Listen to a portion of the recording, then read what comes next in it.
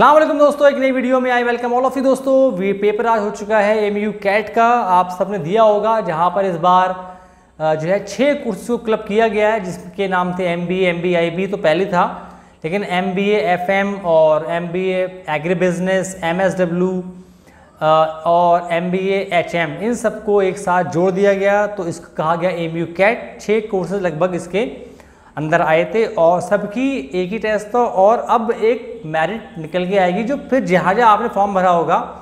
अगर आप वहाँ मेरिट में आएँगे तो उसको बाद आपको एडमिशन मिल जाएगा। लेकिन अगला मसला आता है क्योंकि इस बार सारे कोर्सेज में जीडी इंटरव्यू भी हो चुका है। इससे पहले आपका एमबीए एग्री में जो है आपका इंटरव्यू नहीं था जीडी नहीं था और एमबीए एफएमए भी आपका नहीं था एमएसडब्ल्यू में भी पहले था, फिर ख़त्म हो गया, अब फिर हो गया था। तो यहाँ भी दोस्तों होगा तो यहाँ पर दोस्तों अगला बात है कट ऑफ़ क्या रहेगी? लेकिन पहले बात करते हैं पेपर के लेवल की पेपर का लेवल कैसा आया था? दोस्तों ये एक आ, मेरे ख्याल से अगर मैं इसको बोलूँगा एक टिपिकल ए पेपर है ये। ठीक है टिपिकल ए का मतलब ये है कि ये पेपर बड़ा ही मतलब एक अगर हम देखें तो एक्सपेक्टेड था ऐसा ही आता है और ऐसा ही आया।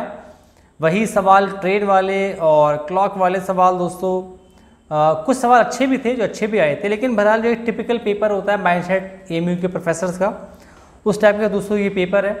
और जहाँ पर मेरे ख्याल से इसमें आ, अगर पहले मैं बात करूँ इसकी इंग्लिश की तो इंग्लिश दोस्तों काफ़ी ठीक ठाक आई है ना बहुत आसान है ना बहुत मुश्किल है लेकिन ये मैं कह रहा हूँ क्योंकि मैंने पढ़ लिया अच्छा खासा इसलिए लगता है। लेकिन उसके बावजूद भी मैं ऐसा मानता हूँ पच्चीस में से दोस्तों यहाँ पर मतलब बारह तेरह सवाल तो इतने मुश्किल नहीं थे वो बारह सवाल बच्चे उनको कर जाना चाहिए। बारह बारह सवाल ऐसे मेरे ख्याल से यहाँ पर आए थे।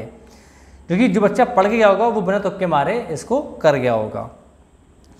दोस्तों उसके बाद आती है आपका दूसरा पार्ट तो दूसरा पार्ट जो आया था वो था आपका इसमें आपका रीजनिंग कह लें या क्वांट कह लें या दोस्तों रीजनिंग में, में जो है कई सारे सवाल आसान थे।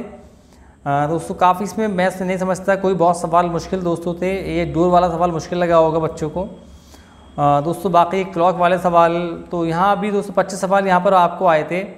और पच्चीस सवाल में दोस्तों, मेरे ख्याल से इसमें यहाँ दोस्तों मैं समझता हूँ कि पंद्रह से सोलह सवाल जो है वो इतने मुश्किल यहाँ पर नहीं थे, जो बच्चा पढ़ के गया होगा, उसने वो कर लिए होंगे। ये भी जो आपका आया था डाटा वाला, ये भी इतना मुश्किल नहीं था। मैंने इसको अभी इसके आंसर की बनाई थी तो मैंने छोड़ दिया था सॉल्व करना पड़ता है इसको।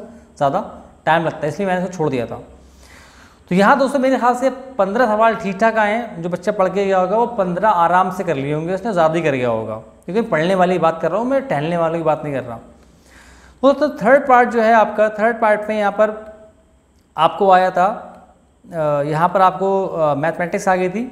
और मैथमेटिक्स दोस्तों मैथमेटिक्स में भी ओवरऑल अगर मैं देखता हूँ तो मैं नहीं समझता है पेपर ये बड़ा मुश्किल है। और यहाँ भी दोस्तों 12-13 सवाल ऐसे थे जो कि आसान थे 12 और आधे आधे था 12 के लगभग सवाल जो है वो आसान थे। तो बच्चा पढ़ के गया होगा, बारह सवाल आराम से निपटा गया होगा, आराम से। इतने काफ़ी होते हैं फिफ्टी परसेंट कर लिया तो काफ़ी होता है। तो जी के बारे में बात करें, जी के दोस्तों जो थी जी के मैं समझता हूँ कि इतनी मुश्किल नहीं थी ये भी। यहाँ भी दोस्तों अगेन मैं समझता हूँ कि पंद्रह सवाल दोस्तों मैं समझता हूँ बच्चे ने कर लिए होंगे इतने मुश्किल सवाल वो नहीं आए थे। फिफ्टीन सवाल दोस्तों ठीक ठाक आए थे बच्चे को कर लेना चाहिए। दोस्तों ये था मेरा पेपर के बारे में analysis in my opinion it was neither it was neither very difficult nor very easy it was an average paper दोस्तों बात करते हैं कट ऑफ़ की क्योंकि इस बार कई सारे कोर्सेज जो है वो क्लब कर दिए गए हैं।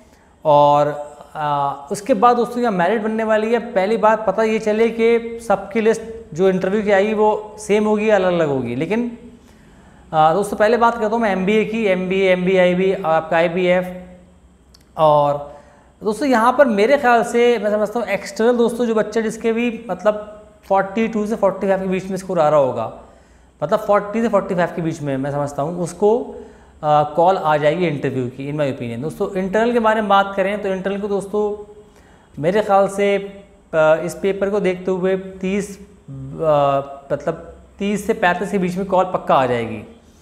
दोस्तों, बात करते हैं अब एमबीए दोस्तों एग्री बिज़नेस वहाँ दोस्तों, वहाँ भी जो मेरिट रहेगी एक्सटर्नल के लिए, वो लगभग 40 के अराउंड रहेगी इंटरव्यू के लिए। 40 में भी 40 42 और दोस्तों एक्सटर्नल के लिए अगेन वही थर्टी फाइव के राउंड रहेगी, इससे ज़्यादा नहीं रहने वाली है।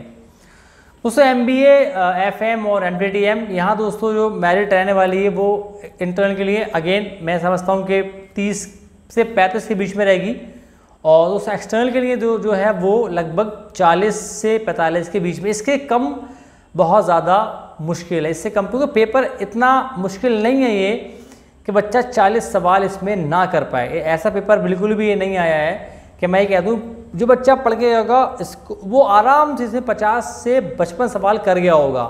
बिल्कुल आराम से। तो एक्सटर्नल के लिए मैं समझता हूँ कि 40 से 45 कोई भी कोर्स आपने डाला है, उसमें आपका कॉल आ जाएगी। चालीस से भी कॉल आपको आ जाएगी इंटरव्यू की, और शायद थोड़ा और कम पे भी आ जाए। और जो इंटरनल है दोस्तों, इंटरनल की मैं बात करूँ, अगर जिसके भी 35 स्कोर आ रहा है इंटरनल के अंदर उनके वैसे ज़्यादा का इतना ही आएगा।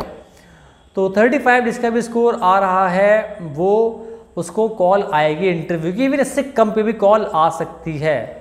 तो ये दोस्तों मेरे ख्याल से ये मेरा था इसमें मेरा गैस के कट ऑफ़ दोस्तों क्या रहेगी। इससे ज़्यादा कट ऑफ़ नहीं रहेगी। इंटरवल तीस पैंतीस के राउंड आपका स्कोर कर लिया है। तो आपको इंटरव्यू कॉल आएगी। बाद में तय होगा कि एडमिशन होगा या नहीं होगा। और फिर बाद में, लेकिन जितना आपने अच्छा स्कोर कर लिया होगा यहाँ पर, उसके बाद आपको इंटरव्यू में कम नंबर आए तो आप काम आपका हो जाएगा। लेकिन अगर आपको नीचे स्कोर कम आता है तो फिर आपको इंटरव्यू अगर आपके बत्तीस नंबर हैं, आपने क्वालिफाई किया सिर्फ़ तो फिर आपको इंटरव्यू के अंदर भी फिर पच्चीस में से एटलीस्ट बीस नंबर तो कम से कम पकड़ लाओगे वो इतना आसान नहीं होता है। तो ये दोस्तों मेरा अंदाज़ा था कट ऑफ़ के बारे में, जो मैंने आपको बताया, सारे मैंने बताया M B A I B M B A M B F M M T T M M B agri business सब मैंने आपको बता दिया। उम्मीद करता हूँ मेरी बात सही निकलेगी दोस्तों, इस वीडियो में इतना ही, मिलूँगा आपसे अगली वीडियो में। खुदा हाफिज़।